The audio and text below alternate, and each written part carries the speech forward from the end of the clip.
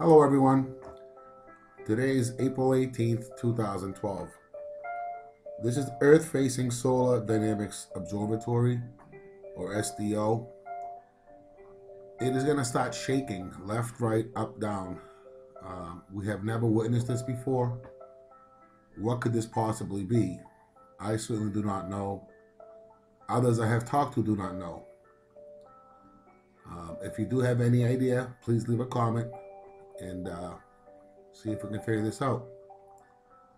There were three major filament eruptions today, but I do not know if that would be enough for it to be causing this sort of gyration. That is very strange indeed. Thank you for watching and keep your head to the sky, please. Take care. Peace.